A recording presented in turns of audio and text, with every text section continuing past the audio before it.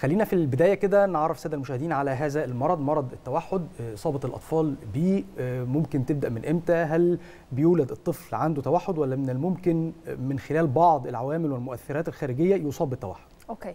طيب خلينا الأول بداية كده نفصل ما بين اضطراب ومرض م. لأن الاضطرابات دي حاجة تانية ومستقلة تماما عن المرض. المرض فكرته إن هو بيتعالج وبيشفى الإنسان منه. لكن الاضطراب لا عكسه تماما. إحنا ممكن نوصل في شغلنا مع الأطفال المضطربين أوكي إلى تأهيل أو تهيئة نفسية إن هو يندمج ويختلط وسط المجتمع ويوصل لدرجة شبه سوية. لكن بتكونش حالة السواء الكامل تمام. فالمرض يشفى منه لكن الاضطراب لا. فده مبدئيا. حاجة تانية بخصوص التوحد الفكرة كلها إن أنا عندي اضطراب اضطراب نمائي شامل. يعني إيه؟ يعني أنا القدرات المعرفية الخاصة باللغة التركيز الانتباه الذاكرة مهارات التواصل الاجتماعي ما بتكونش مكتملة عند الطفل المصاب بالتوحد.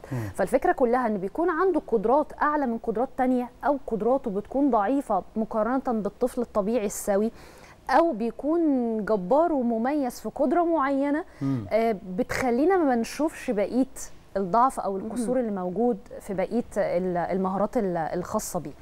دي حاجة. الحاجة الثالثه كمان إن أنا دلوقتي عايزة أعرف هل أنا ابني عنده توحد أو لأ. خلينا نقول إن إحنا إلى سن الثمان سنوات وده يعني ده في آخر تحديث للتشخيص التوحد مؤخرا إن أنا أقدر إن أنا أشخص الطفل إن هو بيبان عليه بعض الأعراض اللي أنا أقدر أقول الطفل ده عنده توحد. والتوحد على أي درجة من الدرجات. لأن م. التوحد في عندي بسيط متوسط شديد مفيش حاجة اسمها عندي عرض أو عرضين لكن الطفل طبيعي. لأ مفيش حاجة اسمها كده لأن إحنا كلنا بلا استثناء عندنا يعني بعض الأعراض من التوحد.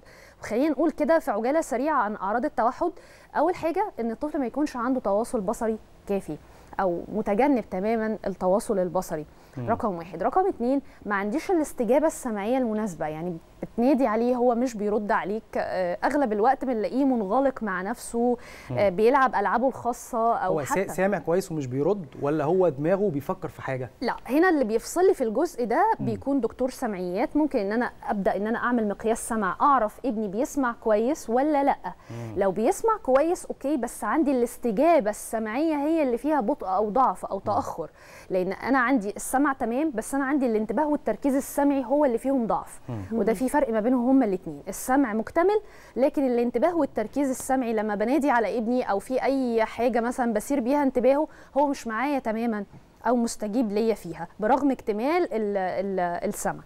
الحاجة الثالثه الانعزال والانطوائية. يعني مهما شاف أطفال بيلعبوا مجتمعين في أي حاجة بتلفت انتباهه مع الأطفال هو ولا يبالي. هو عايش في في عالم من الذاتويه زي ما بنقول. مش مهتم خالص. حاجة كمان ممكن يخاف أو يتجنب حاجات ما يتخافش منها في العادي. مثلا صوت خلاط صوت عربيات في الشارع الصوت لو ارتفع وده نتيجة تحسسه لبعض الأصوات في درجات معينة. الحاجة الثالثه إن أنا استجابة الذهنية العامة بتكون عندي فيها بطء أو تراجع أو تأخر.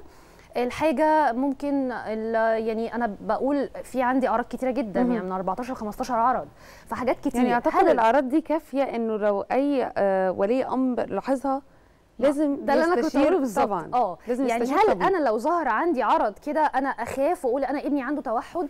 أول حاجة لازم نلجأ لأهل التخصص طبعا. ما ينفعش إن أنا اشخص ابني وأنا قاعدة في البيت. شكيت على أي عرض من الأعراض ده بدأ يظهر.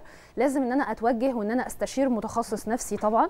الحاجة الثانية إن أنا عايزة كذا عرض يكونوا موجودين علشان أقدر إن أنا أقول يعني مثلا من خمس لست أعراض أنا ملاحظاهم عشان أقدر أقول إن الطفل ده عنده توحد أو لأ طبعا.